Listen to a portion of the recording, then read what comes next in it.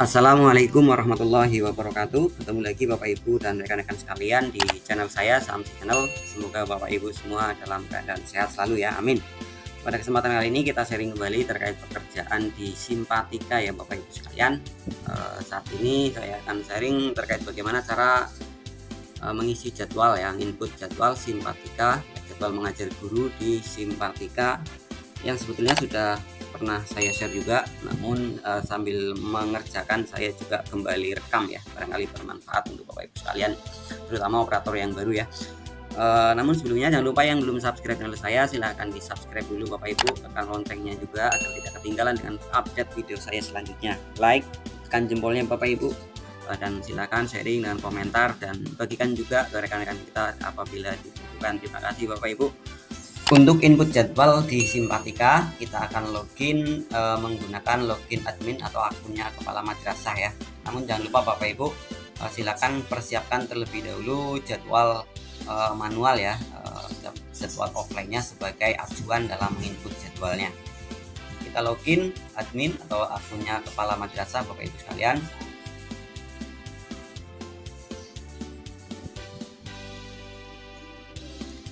Setelah masuk kita langsung saja di sebelah kiri ke menu jadwal ya.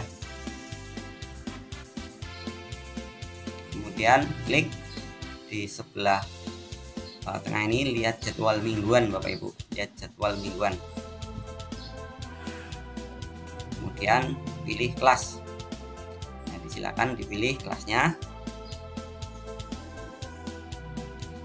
Oh ya untuk kelas ini kebetulan sudah saya isi ya.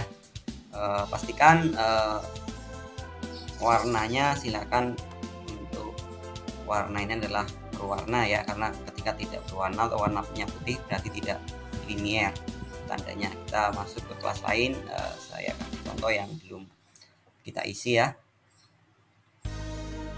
Langkah awal adalah silakan pilih model template ya di menu pengaturan ya model uh, bisa dibuat terlebih dahulu atau memakai yang sudah pernah ada. Nanti ada akan notifikasi klik saja yes Bapak Ibu. Ini modelnya yang sudah saya susun untuk tahun lalu ya sebenarnya sudah kita susun. Kita tinggal pakai lagi pakai lagi ya untuk model ini bisa dipakai ulang. Nah ini Bapak Ibu sudah ada modelnya kolom-kolomnya kita tinggal mengisi ya. Langkahnya adalah silakan uh, yang dimulai dari harinya Senin sampai Minggu. Nah ini untuk pengaturan hari libur silakan ya di menu absensi ya. Di menu absensi. Ya, ada juga Bapak Ibu videonya yang sudah saya buat. Kemudian kita bisa lihat di jadwalnya Bapak Ibu. Berdasarkan jadwal offline tadi kita ikuti saja ya. Misalkan kelas 7B di situ untuk hari Senin mata pelajarannya apa ya? Kita lihat jadwal offline-nya ya. Tinggal mengikuti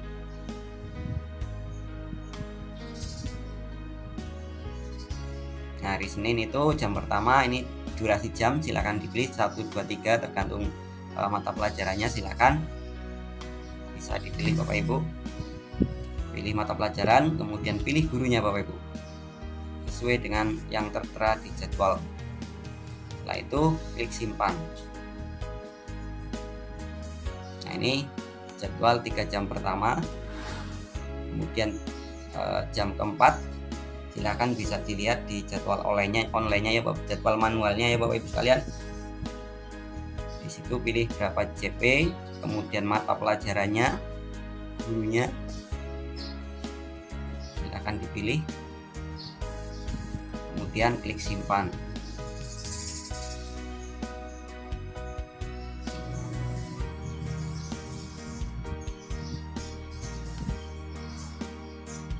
Jam berikutnya silakan pilih berapa jam mata pelajarannya gurunya. Setelah itu klik simpan. Hari Senin sudah selesai tinggal masuk hari Selasa hari berikutnya. Pilih mata pelajaran pilih gurunya. Kemudian klik simpan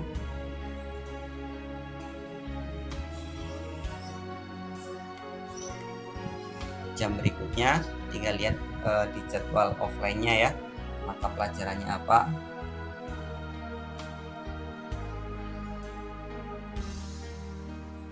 Pilih gurunya. Setelah itu klik simpan. Begitu selanjutnya Bapak Ibu ke jam berikutnya ke hari berikutnya. Sampai dengan selesai dalam mengisi juga uh, sambil melihat uh, eh, CTM ini ya Bapak Ibu sekalian uh, jangan sampai melebihi ya terlalu melebihi ya. Nah standarnya ini yang bawah ya pernya. Kemudian kita input lagi sampai hari terakhir misalkan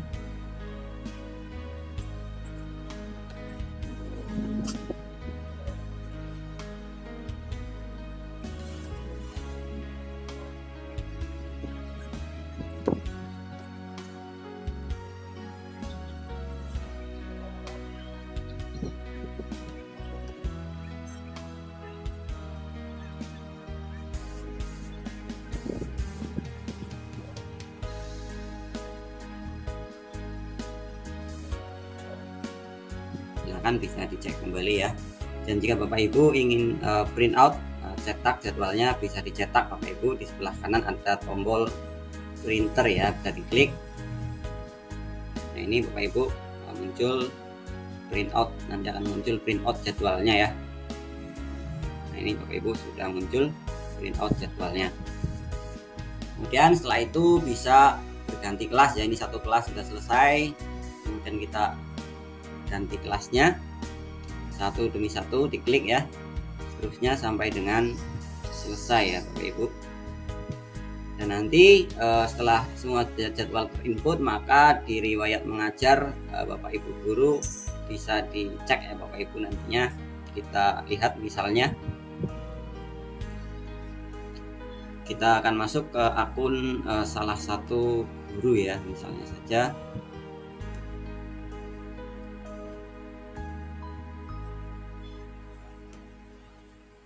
ini kita akan cek ke akun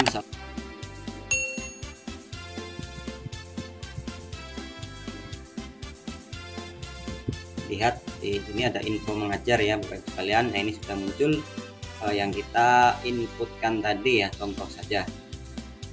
Jadi demikian Bapak Ibu. Itulah caranya untuk uh, mengisi jadwal simpatika di uh, uh, online ya. Semoga bermanfaat jangan lupa yang belum subscribe channel saya silahkan subscribe like komentar dan bagikan bapak ibu. Semoga bapak ibu semua dalam keadaan sehat. Sampai ketemu di video selanjutnya. Wassalamualaikum